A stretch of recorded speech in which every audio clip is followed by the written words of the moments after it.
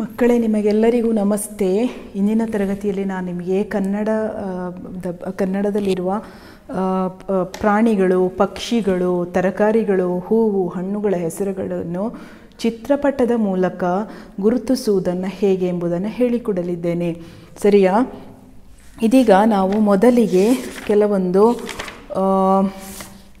ಹೂಗಳ ಹೆಸರನ್ನು ಮೊದಲು ನಾವು ಕಲಿಯೋಣ, ಆಯಿತಾ? ಇದೀಗ ನಾನು ನಿಮಗೆ ಚಿತ್ರದಲ್ಲಿ ಕೆಲವೊಂದು ಹೂವಿನ ಹೆಸರನ್ನು ಹೇಗೆ ಗುರುತಿಸು ಅಂತ ಹೇಳ್ತೇನೆ. ಮಕ್ಕಳೇ, ಇದು ಏನು ಹೂವು ಇದನ್ನು ಗುಲಾಬಿ ಹೂವು ಅಂತ ಕರೀತಾರೆ.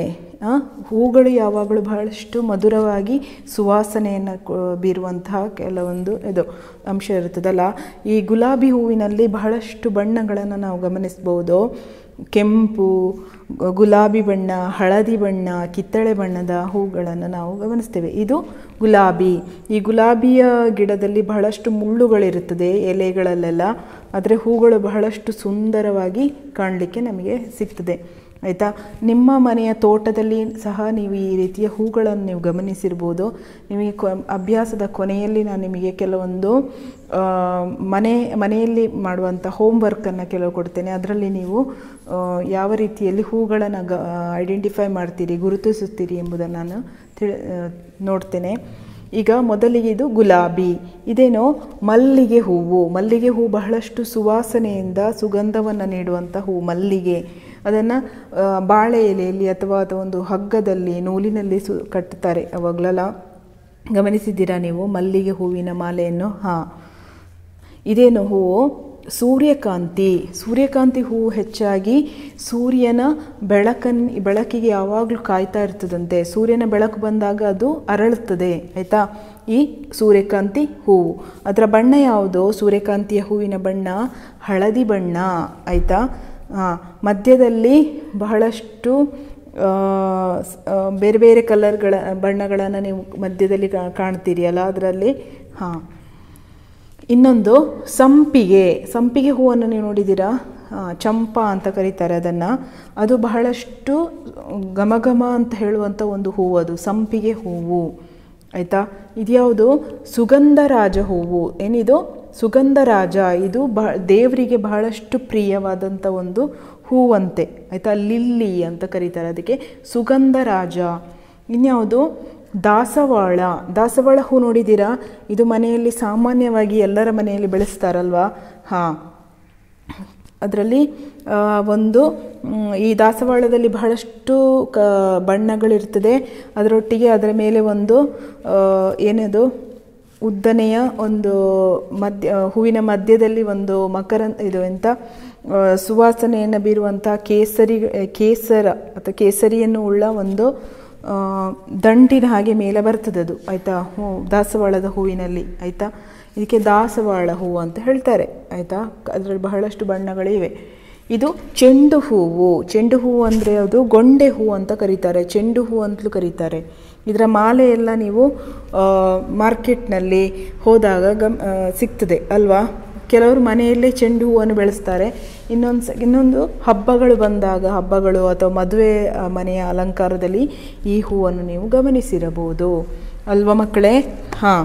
ಈಗ ಇನ್ನು ಕೆಲವು ಹೂ, ಇವಿಷ್ಟೇ ಹೂಗಳು ಮಾತ್ರ ಅಲ್ಲ, ಇನ್ನು ಬಹಳಷ್ಟು ಹೂಗಳಿದೆ. ಇದೇ ನಾನು ಆಗ ತೋರಿಸಿದ ಹಾಗೆ ಇದೇನೋ ಗುಲಾಬಿ ಹೂವು, ಸೂರ್ಯಕಾಂತಿ ಅಥವಾ ಸನ್ಫ್ಲವರ್ ಇದು ಇನ್ಯಾವುದು? ಟ್ಯೂಲಿಪ್ ಅಂತ ಕೊಟ್ಟಿದ್ದಾರೆ. ಟ್ಯೂಲಿಪ್ ಹೂವು ಹೆಚ್ಚಾಗಿ ವಿದೇಶದಲ್ಲಿ ನಾವು ಗಮನ ಕಾಣಲಿಕ್ಕೆ ಸಾಧ್ಯ.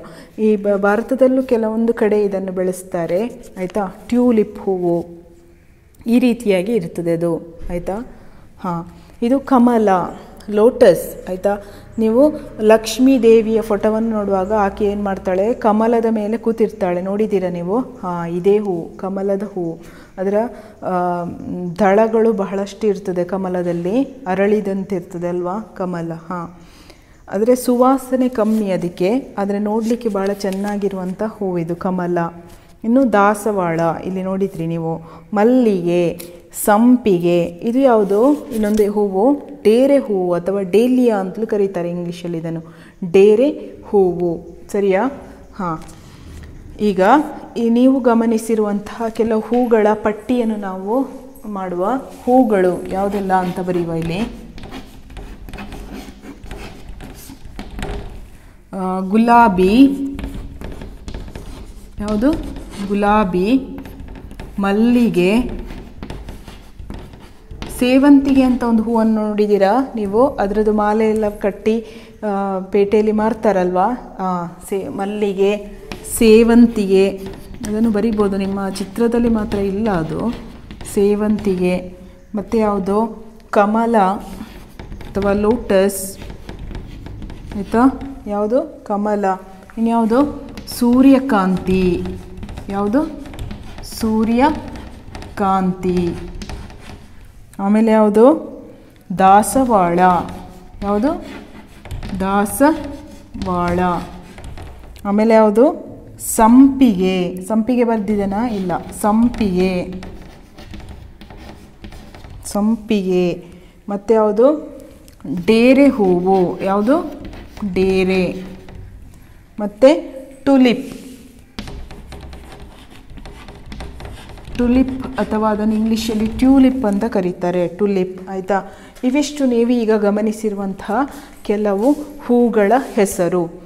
ಮಕ್ಕಳೇ, ನಿಮಗೆ ಈ ಹೂಗಳನ್ನು ಗಮನಿಸಲಿಕ್ಕೆ, ಚಿತ್ರದ ಮೂಲಕ ಗಮನಿಸಲಿಕ್ಕೆ ಸಾಧ್ಯವಿದೆಯಾ? ಹಾಂ.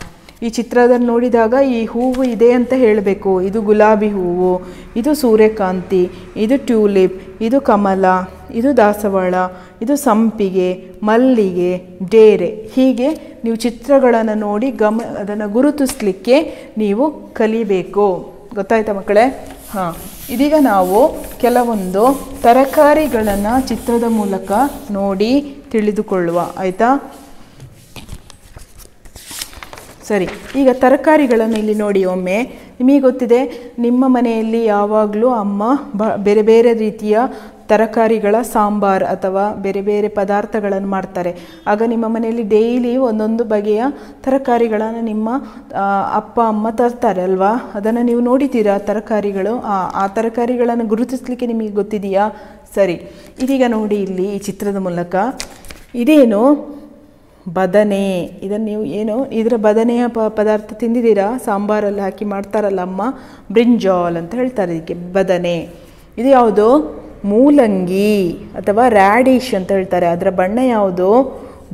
ವೈಟ್ ಬಿಳಿ ಬಣ್ಣ ಇರ್ತದೆ, ಕ್ರೀಮ್ ಕಲರ್ ಆಗಿ. ಆಮೇಲೆ ಅದರ ಮೇಲೆ ಎಲೆಗಳು ಇರ್ತದೆ. ಆಯಿತಾ? ಇದು ಮೂಲಂಗಿ ಅಂತ ಹೇಳ್ತಾರೆ ಇದಕ್ಕೆ. ಇದು ಯಾವುದು? ಟೊಮ್ಯಾಟೊ. ಟೊಮ್ಯಾಟೊ ನೋಡಿದ್ದೀರಾ? ಹಾಂ, ಸಾಂಬಾರಲ್ಲೆಲ್ಲದರಲ್ಲಿ ಹಾಕ್ತಾರೆ. ಇದು ಆಲೂಗೆಡ್ಡೆ ಅಥವಾ ಪೊಟ್ಯಾಟೊ ಅಂತ ಕರೀತಾರೆ. ಏನಂತಾರೆ ಇದಕ್ಕೆ? ಪೊಟ್ಯಾಟೊ. ಇದೇನು ಮಕ್ಕಳೇ? ಹುರುಳಿಕಾಯಿ. ಇದನ್ನು ಬೀನ್ಸ್ ಅಂತ ಹೇಳ್ತಾರೆ. ಯಾವ ಕಲರ್ ಅದು? ಹಸಿರು ಬಣ್ಣ. ಇಷ್ಟಿಷ್ಟು ಉದ್ದ ಇರ್ತದೆ ಬೀನ್ಸ್ ಅಲ್ವಾ? ಹಾಂ, ಅದರ ನಾರನ್ನು ತೆಗೆದು ಅಮ್ಮ ಅದನ್ನು ಕಟ್ ಮಾಡಿ ಪಲ್ಯ ಮಾಡ್ತಾರೆ. ಅಲ್ಲ? ಹೌದು. ಇಲ್ಲಿ ನೋಡಿ. ಕ್ಯಾರೆಟ್. ಅದಕ್ಕೆ ಗಜ್ಜರಿ ಅಂತ ಹೇಳ್ತಾರೆ. ಕ್ಯಾರೆಟನ್ನು ನೋಡಿದ್ದೀರಾ? ತುರಿದು ತುರಿದು ಒಂದೊಂದು ಸಲ ಅದನ್ನು ಪದಾರ್ಥ ಮಾಡ್ತಾರೆ. ಅಥವಾ ಅದನ್ನು ಕಟ್ ಮಾಡಿ ಕೆಲವೊಂದು ಸಲ ಕತ್ತರಿಸಿ ಅದನ್ನು ಪದಾರ್ಥದಲ್ಲಿ ಪಲ್ಯ ಮಾಡಿ ಮಾಡ್, ಮಾಡ್ಬೋದು. ಅಥವಾ ಹಸಿಯಾಗಿ ಕ್ಯಾರೆಟನ್ನು ಕಟ್ ಮಾಡಿ ತಿನ್ನಲಿಕ್ಕೂ ಸಾಧ್ಯ. ಕಣ್ಣಿಗೆ ಬಹಳಷ್ಟು ಒಳ್ಳೆಯ ಒಂದು ತರಕಾರಿ. ಇದು ಯಾವುದು? ಕ್ಯಾರೆಟ್ ಆಯಿತಾ? ಇದು ಈರುಳ್ಳಿ.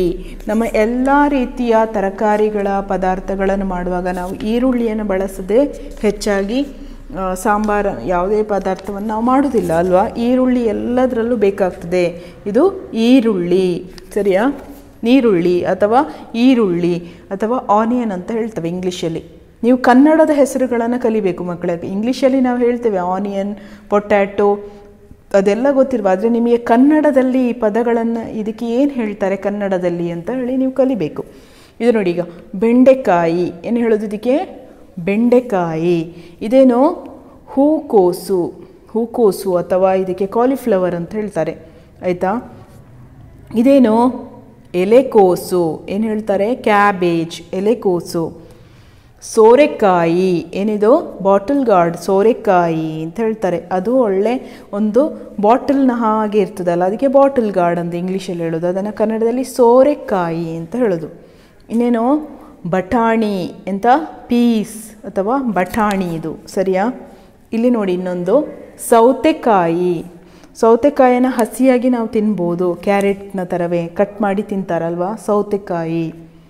ಇದು ಹಾಗಲಕಾಯಿ. ಹಾಗಲಕಾಯಿ ತಿಂದಿದ್ದೀರಾ ನೀವು? ಅದು ಬಹಳಷ್ಟು ಕಹಿಯಾದಂಥ ಒಂದು ತರಕಾರಿ. ಆದರೆ ಅದು ಬಹಳಷ್ಟು ಆರೋಗ್ಯಕ್ಕೆ ಒಳ್ಳೆಯ ಒಂದು ತರಕಾರಿ. ಹಾಗಲಕಾಯಿ ಅಂತ ಹೇಳೋದು ಅದಕ್ಕೆ. ಆಯಿತಾ? ಇದೇನು? ಕುಂಬಳಕಾಯಿ ಅಥವಾ ಅದಕ್ಕೆ ಪಂಪ್ಕಿನ್ ಅಂತ ಇಂಗ್ಲೀಷಲ್ಲಿ ಹೆಸರು. ಸರಿಯಾ? ಹಾಂ, ಇದೀಗ ನೀವು ಗಮನಿಸಿದ ತರಕಾರಿಗಳನ್ನು ನಿಮ್ಮ ಮನೆಯ ಅಡುಗೆ ಕೋಣೆಯಲ್ಲಿ ಹೋಗಿ ಗಮನ, ನಿಮಗೆ ಗೊತ್ತು ಗುರುತಿಸ್ಲಿಕ್ಕೆ ಗೊತ್ತಾಗ್ತದಾ? ತರಕಾರಿಗಳನ್ನೆಲ್ಲ ಅಮ್ಮ ಏನು ಮಾಡ್ತಾರೆ? ಫ್ರಿಜ್ಜಿನ ಒಳಗೆ ಇಟ್ಟಿರ್ತಾರೆ ಅಲ್ವಾ? ಅಥವಾ ಅಮ್ಮ ಒಂದೊಂದು ಸಲ ಸಂತೆಗೆ ಅಥವಾ ಹೊರಗೆ ಪೇಟೆಗೆ ಹೋದಾಗ ತರಕಾರಿಗಳನ್ನು ತಗೊಂಡು ಬರ್ತಾರೆ ಅಮ್ಮ ಅಥವಾ ಅಪ್ಪ. ಅದನ್ನು